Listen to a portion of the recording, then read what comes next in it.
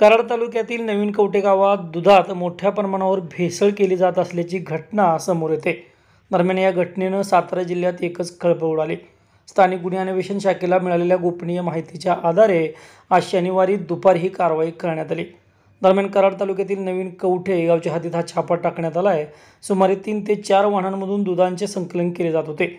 या दुधामध्ये भेसळ केली जात असल्याची गोपनीय माहिती स्थानिक गुन्हे शाखेला मिळाली होती. दरम्यान स्थानिक गुन्हे शाखेचे पोलीस निरीक्षक अरुण देवकर यांनी याबाबतची कल्पना अन्न भेसळ प्रशासनाला दिली. त्यानंतर याबाबतचा छापा टाकण्याची कारवाई आज करण्यात आली. स्थानिक गुन्हे शाखा आणि अन्न भेसळ प्रशासन यांच्या संयुक्त पथकानं नवीन कवटे येथे छापा टाकला.